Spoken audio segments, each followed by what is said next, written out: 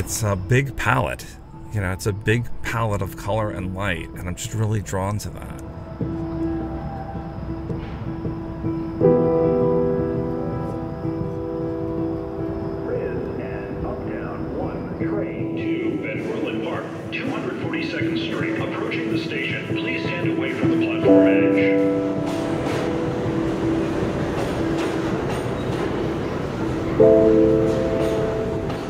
It's got to be the most colorful, dynamic, well lit.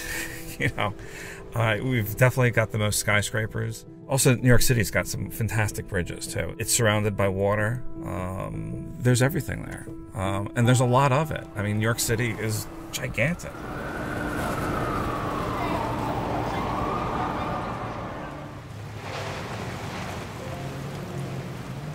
I'm lucky. Uh, uh, proximity. I'm, you know, 30 minutes away from uh, New York City, at least from the Jersey side. I would go out when, you know, ever had the time to shoot, you know, just basic cityscapes. Particularly, it seems like I've specialized over the years moon rises and moon sets.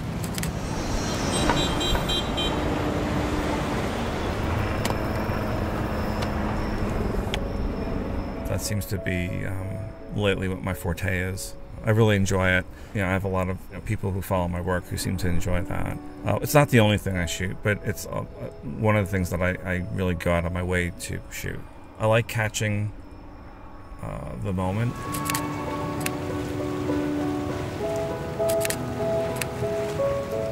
You stand there for long hours waiting for a particular event to happen, and sometimes it doesn't. You know, you're waiting for that colorful sunset. It doesn't happen. You're waiting for a, thunder shower with lightning behind the city. It doesn't happen. You're waiting for a moonrise, moonset, and it, it doesn't happen because you get clouded out. You know, you're, you're pretty much, uh, Mother Nature controls that.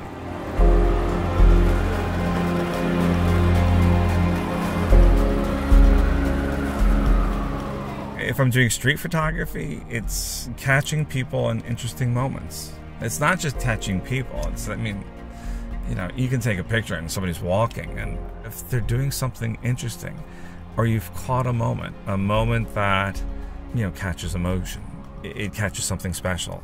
I kind of know it when I see it. It, could be just the look the person has at the moment, or something that they're doing, or something that they're they're walking past, but it's a, a, uh, an interesting background. so there's a lot to shoot.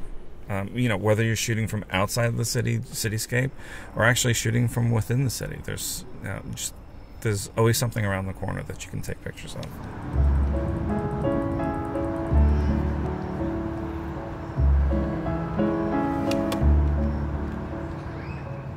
Light is definitely a draw in photography. It defines photography. It it adds shape and texture to photography um, and then color.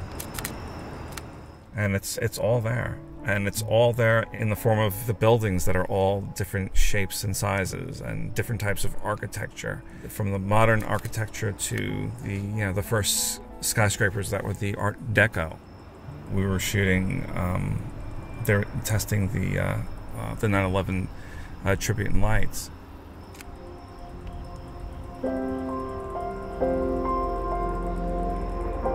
I shot the uh, moon set by the Statue of Liberty, which I've shot dozens of times, but I, I was lucky enough to be able to frame it within a structure.